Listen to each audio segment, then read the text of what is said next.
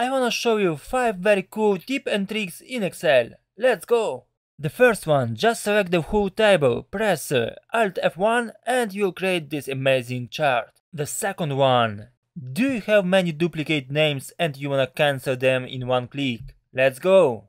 Select the whole table and press uh, Alt AM. As the result, you will automatically remove all the duplicates names in the column. The third one, how to display autocomplete list. Very easy, just press Alt and the arrow down, like in this example.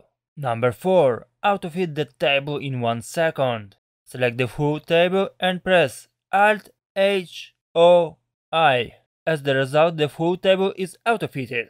Number 5. The last but not least, how to remove or add the grid lines. Very easy, just pressing the combination Alt W V G and all the grid line will disappear.